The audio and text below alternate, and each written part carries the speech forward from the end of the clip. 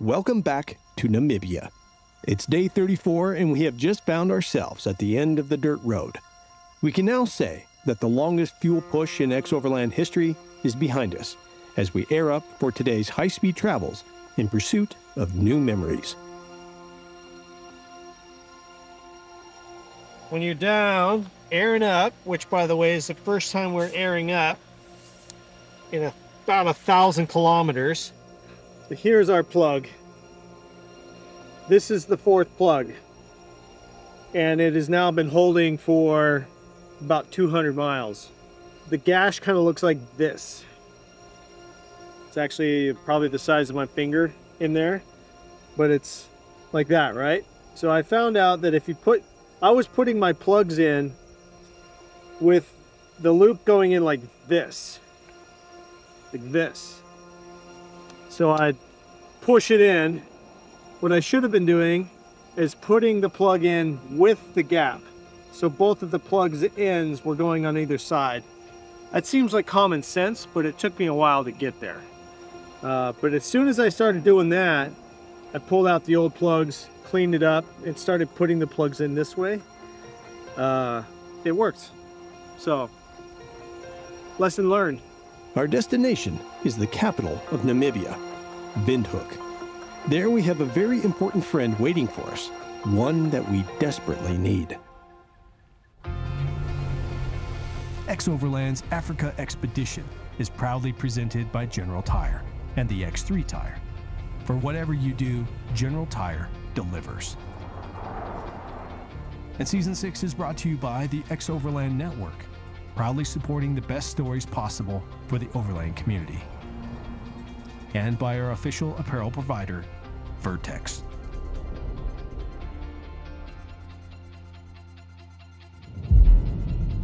In 2018, I was able to cross the Greenland ice cap with a group of men on the E7 expedition, led by Greg Miller. You four guys are just awesome. Thank you. The entire team bonded as close friends from the experience, and that's where I got to know Dr. John and Torby Johannesson. As X Overland, we were able to meet up with Torby in his home country of Iceland on the Nordic expedition. And while we bumped along the F roads of Iceland, I asked Torby where he would want to travel next. I'll let you guess his answer. We'd have to we'd have to follow in the steps of E7. He is. Whoa! Whoa! Hop on the rail, my man. Yeah. Good to see you guys. Good, to, see, you. too. He's rolling. We're just rolling in. How is this camp? It's This- okay. it's Yeah, okay? It's good. No, it's good. I like it. Looks like the best thing I've seen in a long time. Okay. This is the first time Torby has met my family, and it feels great to have everyone together. I know. Same here. Yeah, thanks so much for coming. Come on. this is Ryder. Good to see you. You've got a big job ahead of you. oh, really? We're like, add it to Torby's list. Add this one to Torby's Like, we'll just put it on the list. Put this on the list. Put this on the list. Torby has a big job ahead of him with the mechanical needs of the vehicles. And since he's been sitting around for a couple days, he's ready to get right to work. Well, I think we'll just start from the beginning and work our way all around all these vehicles. We have a long list. The Sequoia roof rack needs tightening, bolts have rattled loose on all the vehicles, and they all need Loctite. Our AC isn't working in the Tacoma, and our one Sequoia rear tire needs a proper repair.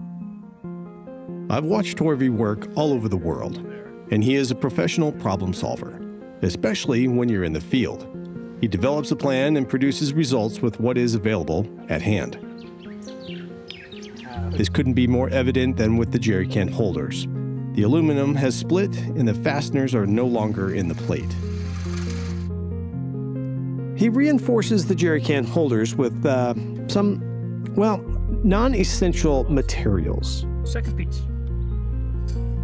Ready for another another assignment.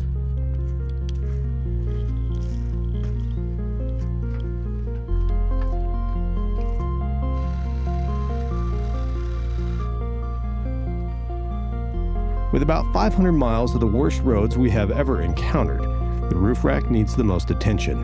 The roof bolts are tightened and the Alu-Cab rooftop tent is resecured. Let's walk on here. This side.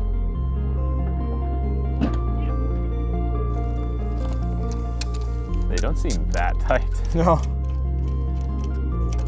We swap out the tire that needs repaired for the spare, just for the day. Here we go. Nice. Heads up on those journeys. Nice. And it's been a long day of tackling the issues, and the tire and AC will have to be left for tomorrow.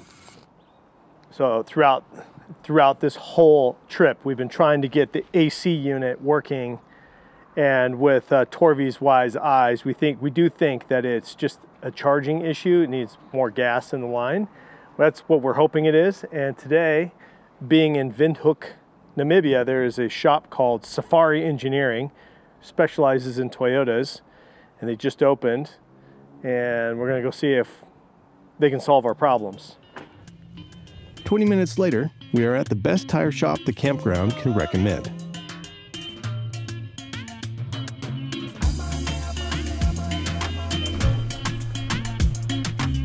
It doesn't take them long to make a proper repair on the tire. Confidence is super high on this tire, and it's good to go for the rest of the expedition. They want us to back the truck in to take a look at their air conditioning, or aircon as they call it. Their best guess is if they recharge the system, it will work just fine. Do I owe you anything? No. Is it okay? Uh, thank you. thank you for all your help. You guys are smart. all right.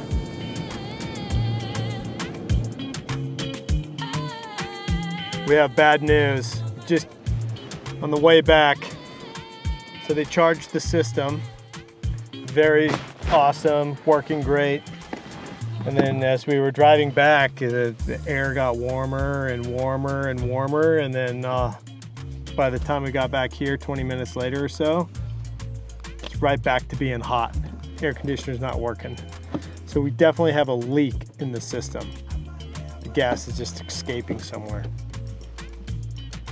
So if we can find that leak and maybe JB weld it or find out how to cap it, maybe we can get it working again because it did work.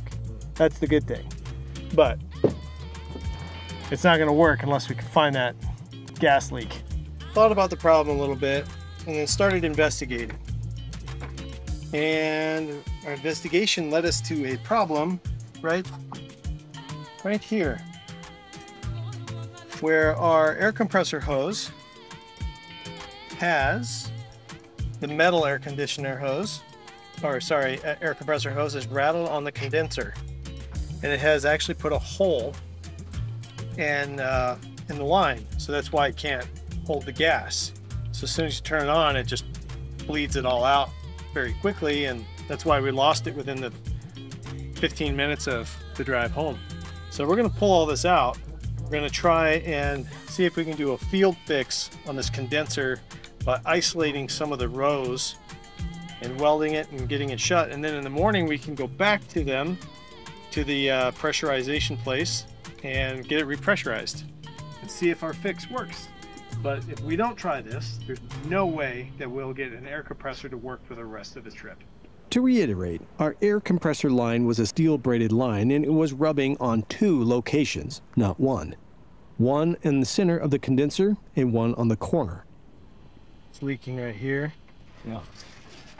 Bunch of that. Torby, all you gotta do is just jam a whole bunch of sealant on this thing. Say three Hail Marys and send it. You feel it? He's cleaning it up really We decide to coat the problem areas in quick steel and let them harden. Hopefully, it will be enough. We just have to try.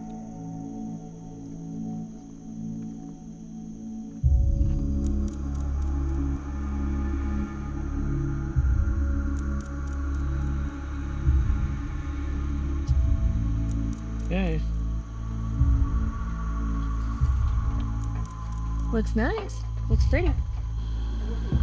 After letting our fix cure for a couple hours, it's holding up to 100 psi. Yeah, careful. Yeah, That's better than it failing. But the true pressure from the system is greater than two times higher than we can test. The effort. It looks like it, but this is 100 psi. It's supposed to take 240. Yeah. It will be last one to day. We will just have to put it back in, get it recharged in the morning, and see if it works. So this morning, Ashley and I have gone over what the next few days will look like, which is extremely exciting. So much cool stuff to go do. Uh, team is finishing up just the last minute fixes. So tires getting swapped. This bad tire that got repaired is going back on the truck today uh, to keep our spare good. And then I'm taking this truck into the air conditioning place to get it charged to hopefully see if our fix worked. So once we know that, we're on our way.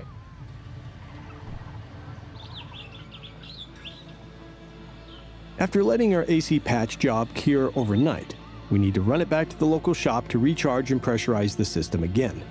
The drive back to camp will tell us if our repair is successful or not.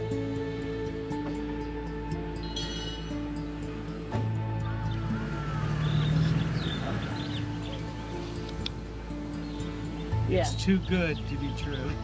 Uh-oh. Don't jinx it. Yeah, don't jinx it. I hate to say it. It is too good to be true.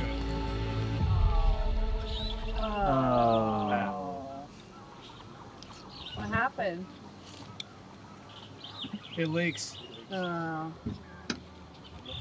Yeah, they charged it, but it does leak. Oh. Well, take forever. Give it the old college try. It looks like the challenges of Africa will continue to make us hardier and hardier. The Tacoma will stay in the lead of the convoys so that the passengers can travel with the windows down and stay out of the dust. Immediately, the roads get rough. And with the miles already, I hope these trucks can stay together. The Spitzkoppe, from German for pointed dome, also referred to as the Matterhorn of Namibia, is a group of bald granite peaks, or Inselbergs, located between Usakos and Swakopmund in the Namib Desert of Namibia. The granite rises to 5,669 feet above sea level.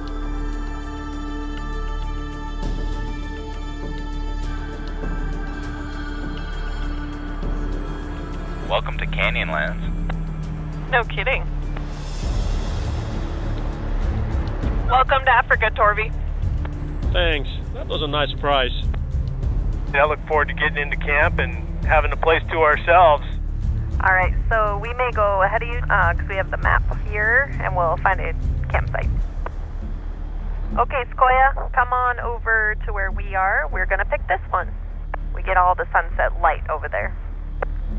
Yeah, this is gonna be real nice. A new pace has been established for the next section of the trip. We have been traveling hard up to this point and are finally finding our groove. This newfound pace is welcome and is allowing us to dive into the African experience even more.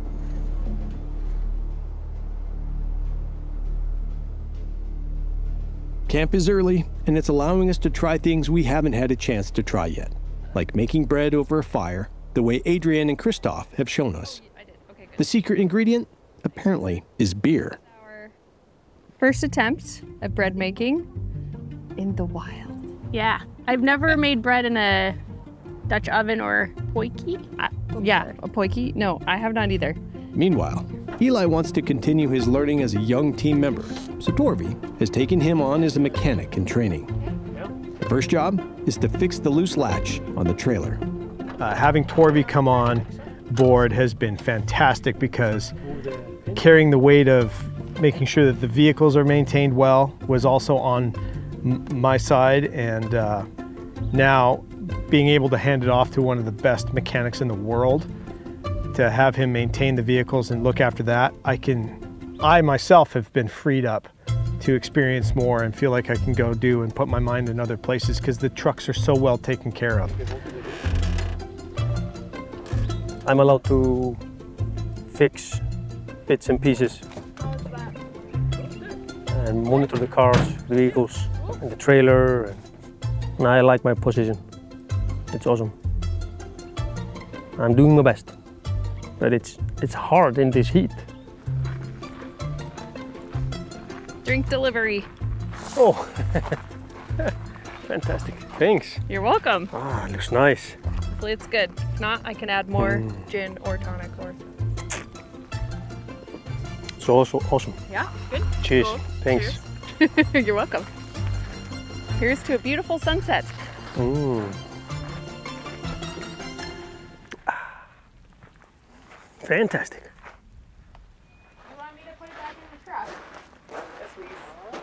Ooh. Oh, hey, that doesn't look bad. Put right on them, their coals. You would.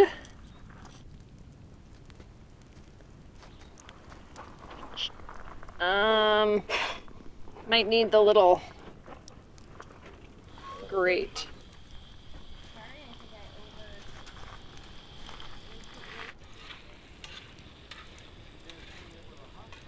The first bread attempt is ready, and it's not bad, especially for a first go. Oh. But this isn't bad. Look at that. Look at it. Give it a Sam. Give it a try. Just a little bit. As long as the texture and the flavor is there. It's great. Mm-hmm. All right, we'll call it a win. And the broccoli. Oh man, look at how amazing this is. Pepper or the, the potatoes or the squash. Yep. That there. Yum yum yum. Slowing down has also allowed for more time around the fire. Nostalgia kicks in, and so do the stories of Torvi and I's Greenland expedition. You can turn them too tight, and then you can break a CV axle for everybody that then they need to fix, and then you feel real bad about it for a long time. Like even now, still feel bad about it. No worries, man. It, it didn't take long to fix. Just to, seriously though, it actually didn't. It wasn't your fault. 40 it, it was my fault i drove in you know then we're like okay well let's circle up for camp right Yeah, but you have the entire greenland ice sheet to turn around so i have the idea that i should turn the wheel all the way and turn into it and then park it the rubber, you know, was already gone. So was the the, the lubricant. okay so it was just I- ice I- yeah, snow. Yeah. I knew knew it was going to, you know, leave us at some point.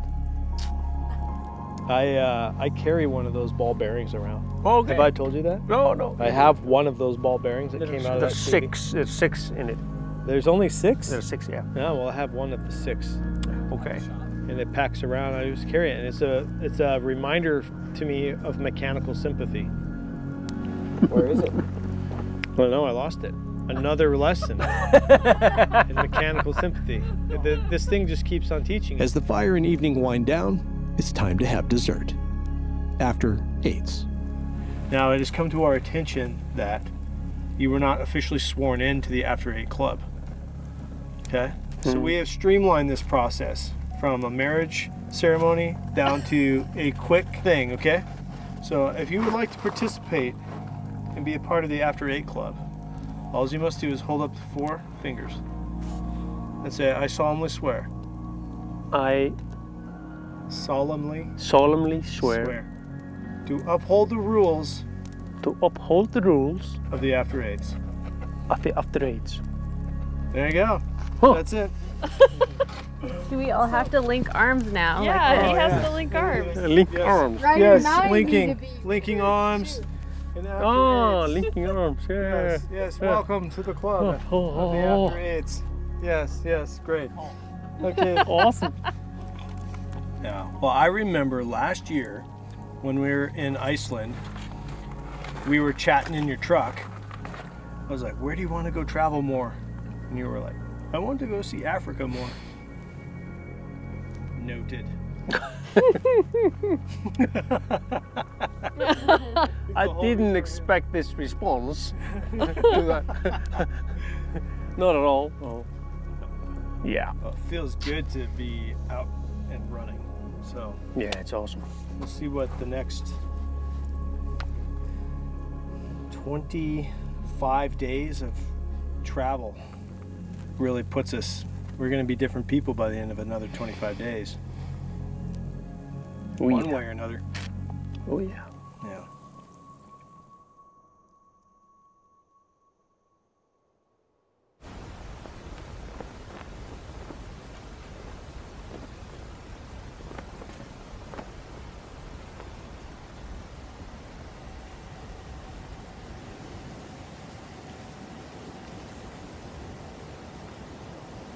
Beautiful night last night. Until about four this morning. Then this wind came in. And it you could hear it coming for 10 seconds and then whoosh and shake the trucks. And then it'd go away and be dead quiet. And then you'd hear the next wave and they kept coming and coming and coming. And it would shake just shake everything. Thank goodness we were in these Alu-Cabs and not like a traditional rooftop tent with rain flies because we could hear the rain flies of everybody else just flapping around. These do very well in the wind, thank goodness. But regardless, we didn't sleep that well from four o'clock on. All of us are just like, Ugh. so we were gonna hang out in camp and enjoy our time, but the wind has motivated us to move on. The wind and the dust. So we'll uh, get packed up. Everyone's like, yeah, let's get in cars. We get packed up and go to the next spot and see what we see. Coffee's still good this morning. Thank you, Richard. Today's goal is a short drive day to get into our camp early, and this might be our shortest drive day so far. Our destination is White Lady Camp. Morning, we will be leaving the Spitzkoppe area, heading north. We have a short drive today, should only be a few hours, um, and we will arrive at the Brandberg Mountain, which is the highest mountain in Namibia. Just when we have a lot of time to make shorter miles, we also hit some of the very best fast track on the trip so far. And we can't help it, we have to let the horses go.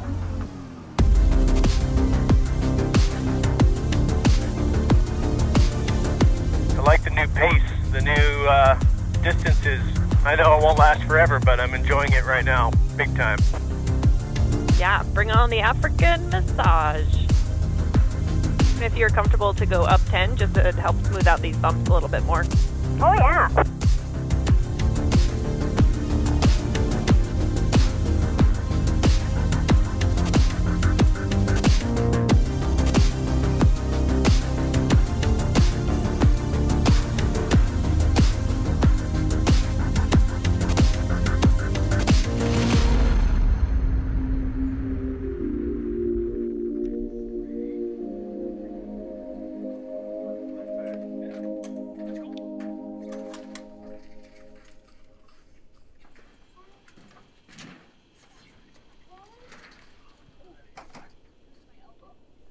It is 12:35.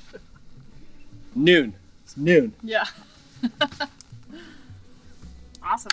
Yep. Hopefully we get some elephants coming. Ooh, that'd be great. So you can see. After nearly 40 days of traveling, we are grappling with something new. We have arrived into camp early.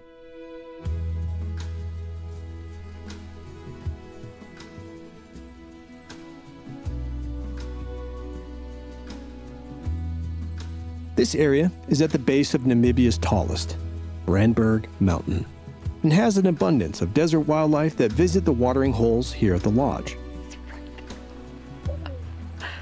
Ooh.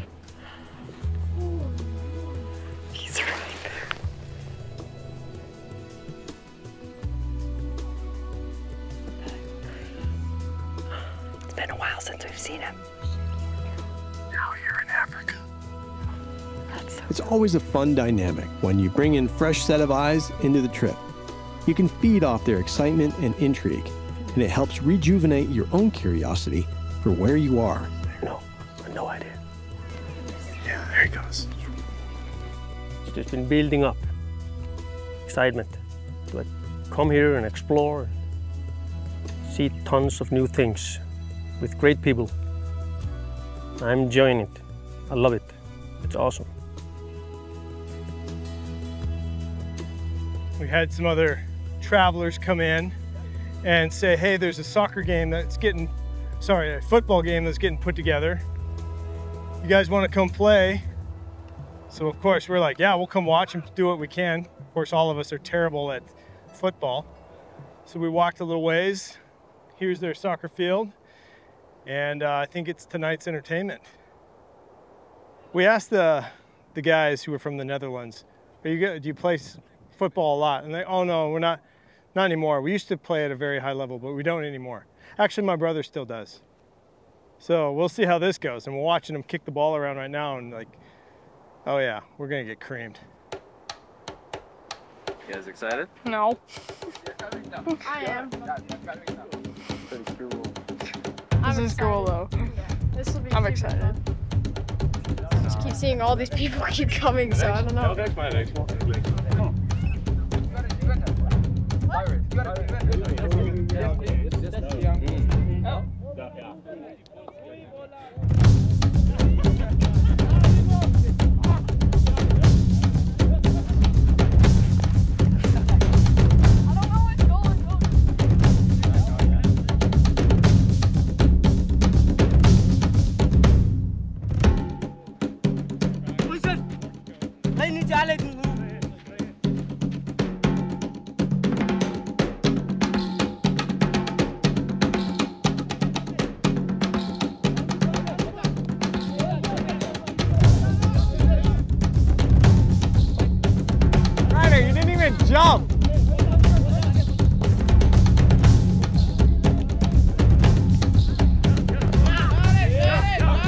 quickly find out how outmatched we are.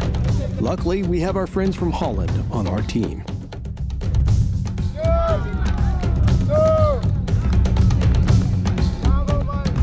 The game is chaotic, and I'm not sure if anyone knows who's winning. But at this point, I'm not sure if it even matters.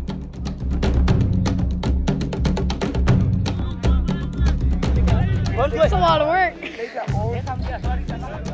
And the only times it touches like two times on accident. Need a lot of endurance to stay in this game. I'm gonna get some water and go in, but whew, it's dry. These guys are fast.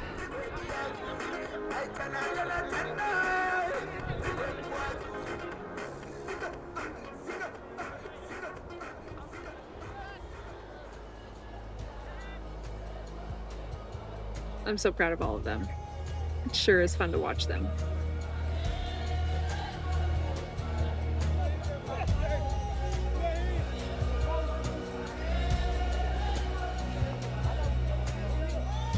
This is really, I think, where I'm getting into the nostalgic part of the trip. I'm looking for a different kind of memory, a, a different kind of experience. Tonight is a night when nothing else in the world matters. A night where many groups of people who are worlds apart came and played a simple game while sharing the sunset together. This is part of the magic of Africa.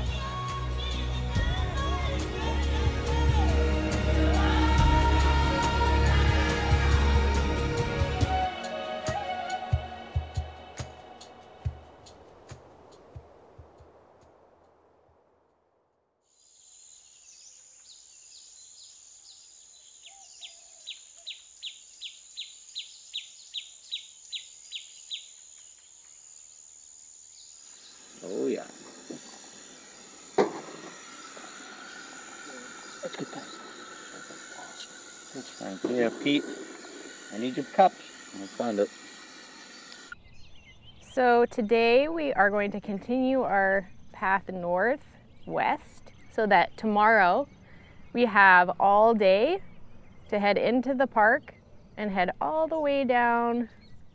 Via the dune route. Yeah. Cool. Cool. We want to get as close to the gate of the Skeleton Coast Park as possible.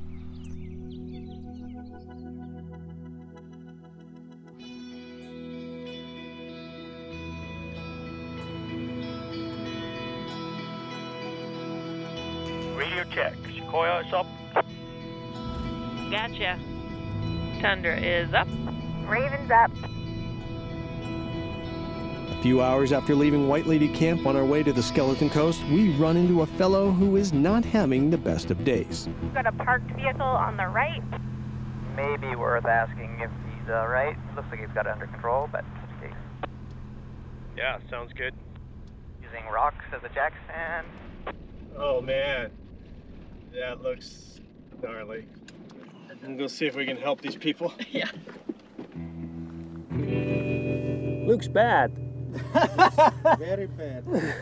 yeah, not a good day. Not a good day. Came up on this gentleman, and sadly his strut has just blown apart. Uh, looks like the nut came off the top, and uh, then was able to just go loose, and then got the tire loose, and that's what cut the ABS and rubbed into the.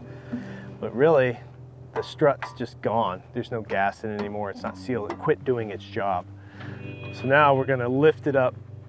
Torby's gonna lift it up with a bottle jack and we, we found a nut that'll work. We think will work on top and we'll just at least get it back together and he can drive to town slowly uh, where he will be able to replace this, this strut. The funny thing is, is there's two other struts in his car that are also broken. So this is uh, a pretty common occurrence. The roads are just brutal. Corrugations, just. Try this. Thanks. Luckily, with all the spare parts and extra suspension components in this local's rear seat, Dwarby is able to piece the coilover back together, and with a little, uh, sketchy ingenuity, he was able to reattach the shock to the body of the vehicle and have him back on the road. Seems to be working. Off he goes.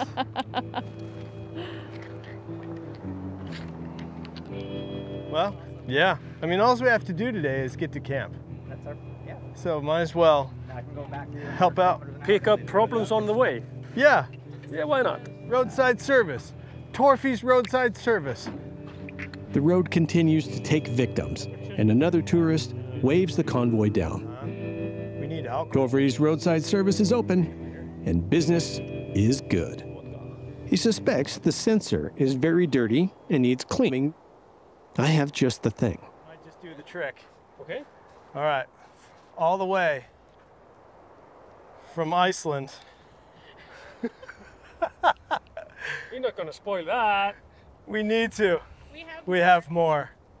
This is the same six bottles that you bought in Iceland, came all the way back to the US, made it all the way to here, and now it's needed to clean This.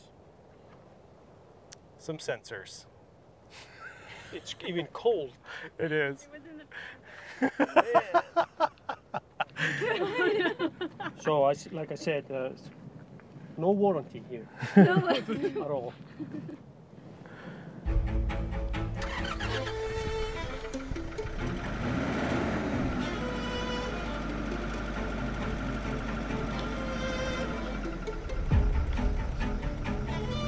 Torvy's roadside service strikes again, though no warranties guaranteed.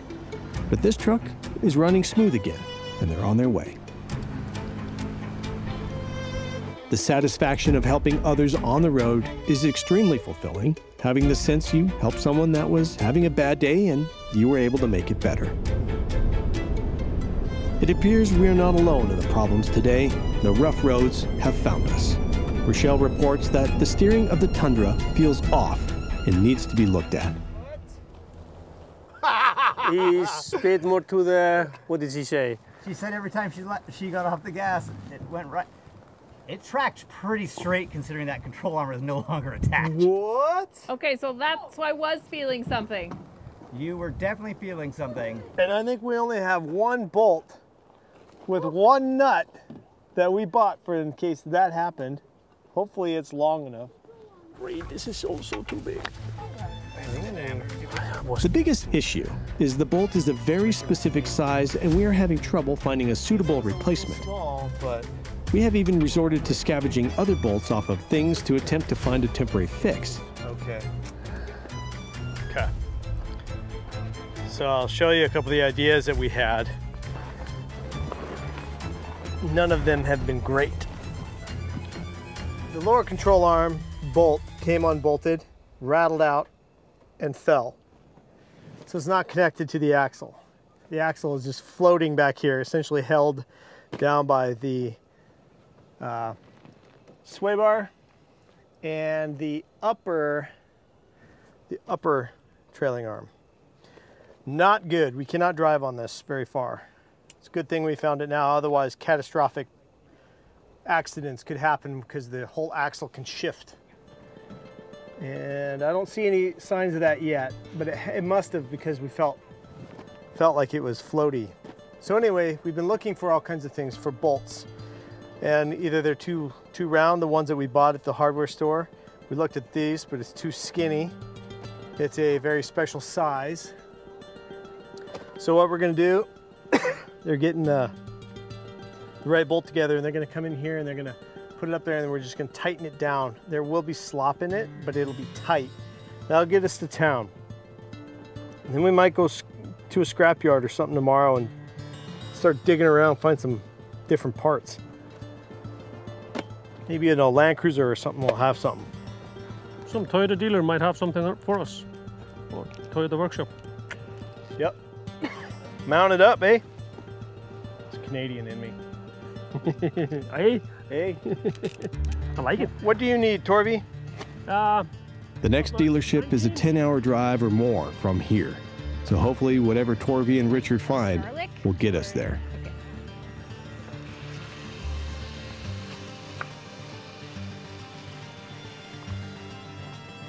While dinner is prepared during another beautiful evening, Torvey finds a temporary bolt to allow us to limp Orion along tomorrow. At least it's in its right place now. Yep.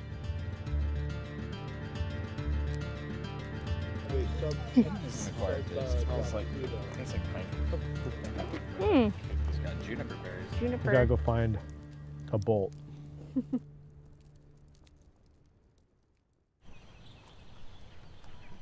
we have begun early, knowing we have a long drive to limp Orion along until we can find a proper fix.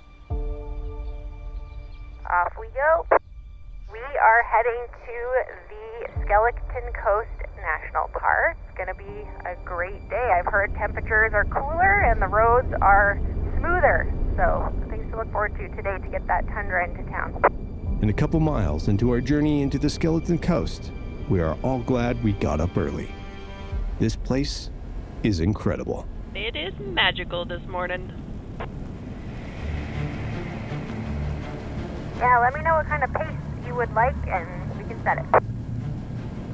These roads are feeling good, Tundra's feeling good, so whatever you feel comfortable with.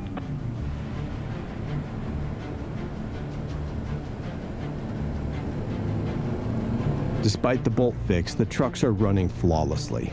The trucks are proving to be workhorses out here.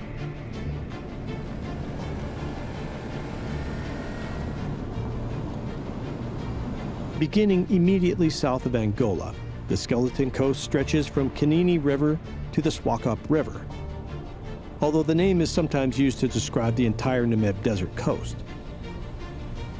The indigenous San people of Namibia call the region the land God made in anger. The area's name refers to the whale and seal bones that once littered the shore from past whaling. But in modern times, the coast also harbors the skeletal remains of more than 1,000 shipwrecks caused by offshore rocks and aggressive weather. The winds blow from land to sea, and rainfall rarely exceeds not even a half of an inch annually, and the climate is highly inhospitable. Ah, there's the ocean. There we go. There is a constant, heavy surf on the beaches. And in the days before engine-powered ships and boats, it was possible to get ashore through the surf, but impossible to launch from the shore. Love it. Off in the distance, we see the skeleton of an old relic. Holy cow, that's amazing. So I, from my map, it looks like it's an old oil drill rig. So that's cool. Ah. Oh, an oil drill rig. Okay. Wow. Should check it out. Yeah, let's roll in there. That's so cool. This abandoned oil rig was left to disintegrate in the sand and salt of the Namib Desert. This rig was in operation from the late 1960s to mid 1970s, even after the national park was established. That thing is falling apart like I've never seen any metal be falling apart before. An old relic of the past. It is now a decaying wreck that serves as a sanctuary for the local birds to escape the hostile weather. It is impressive to all of us how fast this metal is deteriorating. This is truly a brutal environment for machines. Looks good so far. We'll just keep running on it. Everything seemed tight, uh, but we'll every time we stop, I'll just keep popping out, checking, make sure everything is snug and hand tight.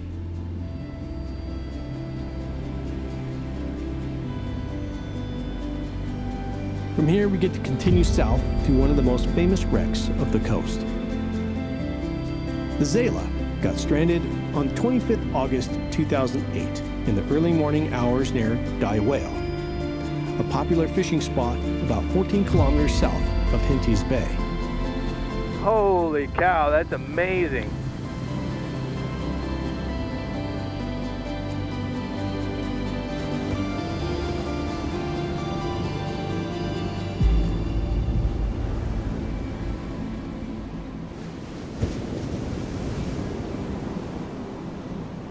You imagine just hauling that thing off and then having it break?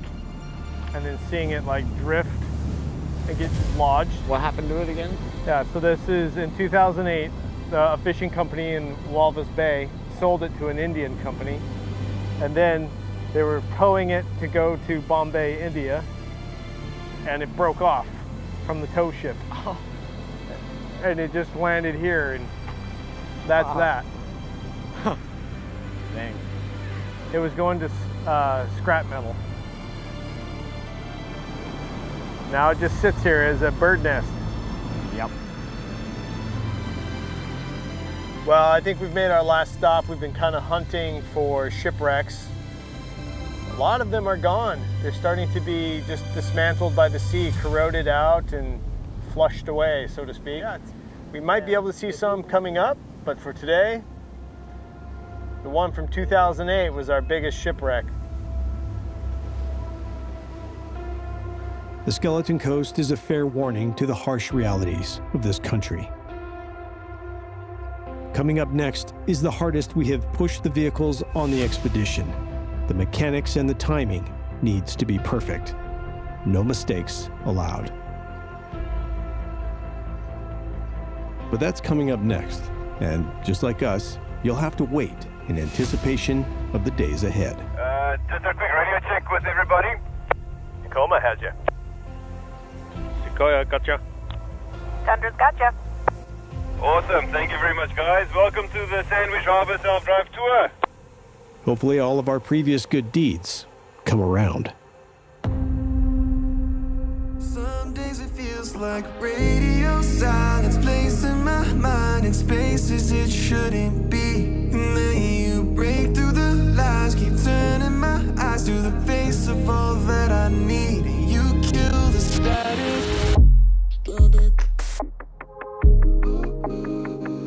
Clear the noise, and I hear your voice again.